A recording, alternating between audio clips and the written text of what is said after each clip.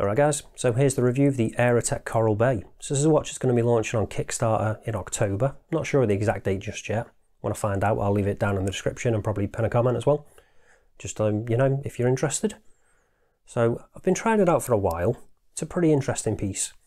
It's like a vintage retro style, so not going to be to everyone's taste, but if you're into that kind of thing, I think this is definitely going to be a really nice one. Even if you're not, this could be one that you might possibly like because like I say, it's it's a pretty nice one.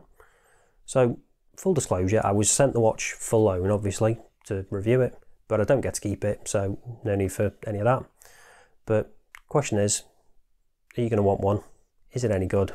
Let's get down to it and find out. So here's the box it comes in, with the Aerotec branding on. It is actually a pretty substantial box as well. I'll show you what we get inside. So we've got a few little bits in the side here. Got the warranty card, so you got one year warranty. Then we've also got there's a suede leather strap here. This actually won't be included when you actually back it on Kickstarter. This will be like an optional extra. It is quite nice though. It's got the Aerotec logo on there. And then nice bit of stitching. And it is actually quick release as well. So they've told me that that's going to be a 39 Australian dollar extra. So that works out to about $29 or 21 pounds. And then the only other thing we've got in there is the links I've taken out. So you can see we've got brushed centre links, polished outer links, and it's just push pins. But I'll get all that out of the way now, and then we'll talk about the actual watch in the actual box.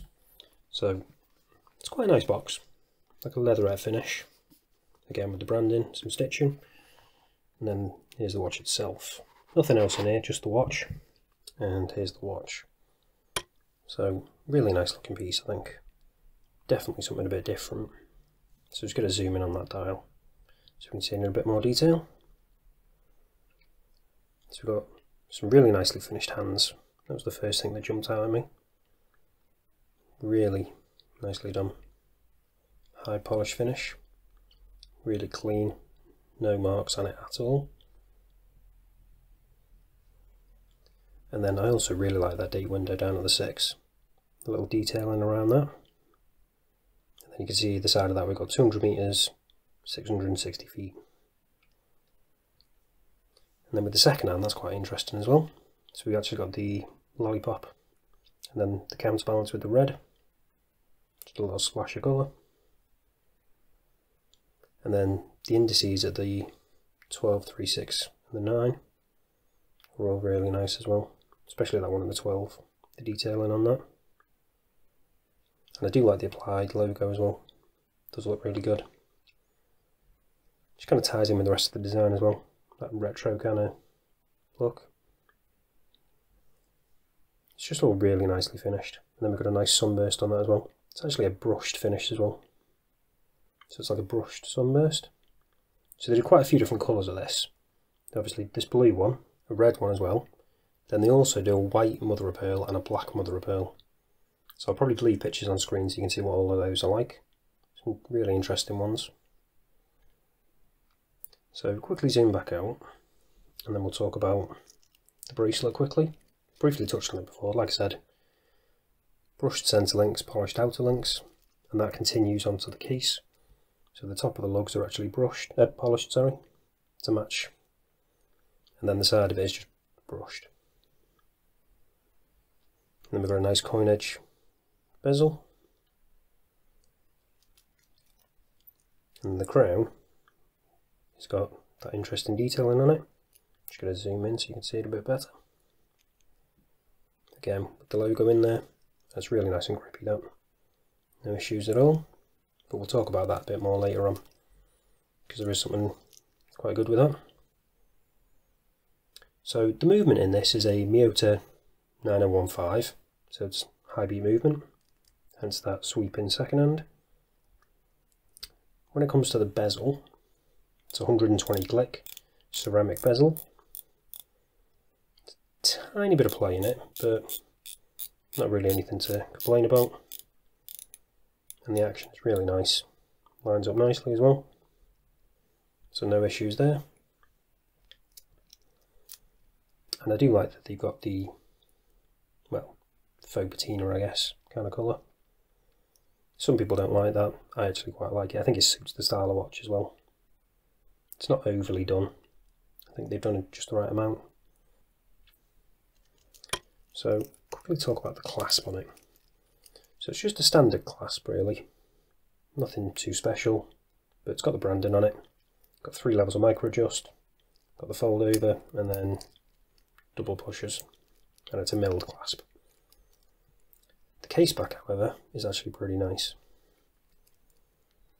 So we've got that nice design on the back of that, and then we've got the Aerotec, actually the 9015 automatic, 200 meters, and then stainless steel. And then obviously that's a screw down case back. You could probably also see as well we've actually got quick release spring bars on this. So this is the first time I've actually seen quick release spring bars on a bracelet. So I was actually quite interested to try these out. But I did notice a bit of an issue. You could probably see if I get it side on like that. They aren't the easiest to access. So trying to get that with your finger or your thumb, it's a little bit fiddly. So when I was changing out to try out that strap, I ended up having to use like a little, I think I used the end of a pen well, a pen lid to try and do it in the end because it was a bit awkward to do with my hands. So perhaps they could sort something out with that. Or maybe it's just me. Let me know if you've tried one out before that's got those. Because like I say, it's the first time I've tried them. I'll quickly show you the crystal on this, because it is a really nice dome on that. It's actually a double dome crystal as well. So, really nice. And it is actually, as they say on the back, sapphire. So let's test it out. using the trusty diamond slugs too.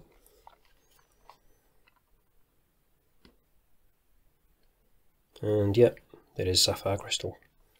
So that's good. Even though it is a vintage style, I do like that they've updated that.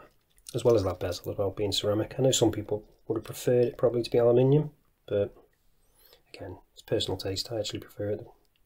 So now I'll show you what the lume's like on this. So you can see it glowing a little bit there already, but let's charge it up, see exactly what we're dealing with.